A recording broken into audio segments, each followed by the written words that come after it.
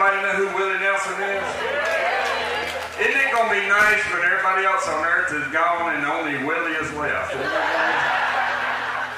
How in the world? Him and Keith Richards, if you know who Keith Richards is. They died 30 years ago and ain't laid down yet. That's what it is, you know?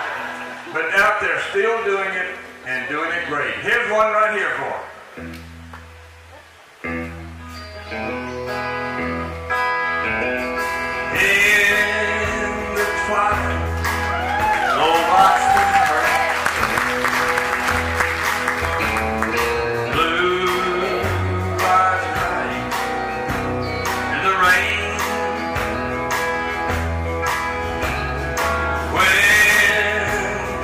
kiss goodbye.